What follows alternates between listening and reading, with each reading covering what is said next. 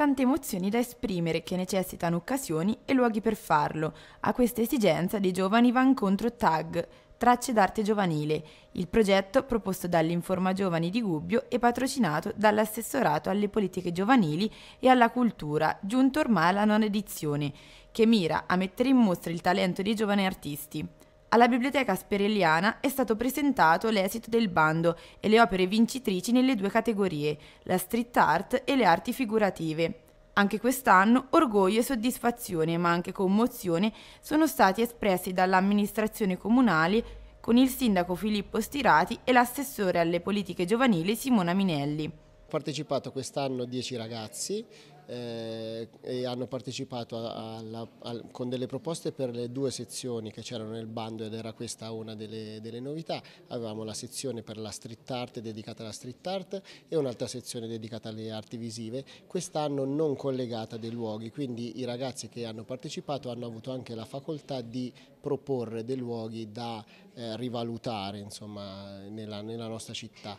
Eh, sono stati selezionati quattro progetti, uno per la street art e tre per la sezione arti visive, e, mm, sono tutti a Gubbio perché c'era anche la possibilità di partecipare con dei progetti per la zona sociale 7 e mm, diciamo la nona edizione ha molte parti di, che, che, vanno in continuità con le edizioni precedenti ma con eh, la nuova edizione abbiamo cercato di svincolare un po' il bando dai, dai luoghi e speriamo per i prossimi anni anche di, di ampliare Cavallo da battaglia di Carlo Antonio Cianculi è un'opera aperta che denuncia la guerra e rappresenta un cavallo sull'orlo del baratro abbattuto nel corso di un conflitto.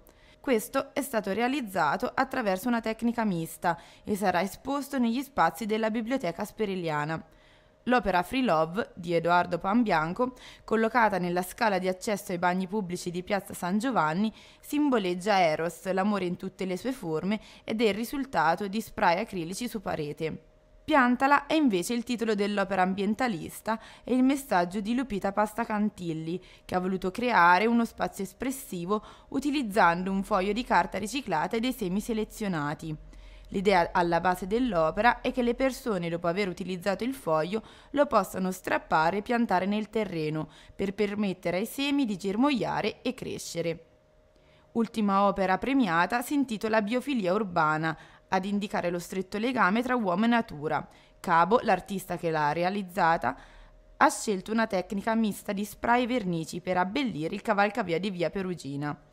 Le quattro opere saranno inserite all'interno di un piccolo libro che vuole raccontare la storia del progetto e l'esperienza creativa dei ragazzi che ne hanno fatto parte.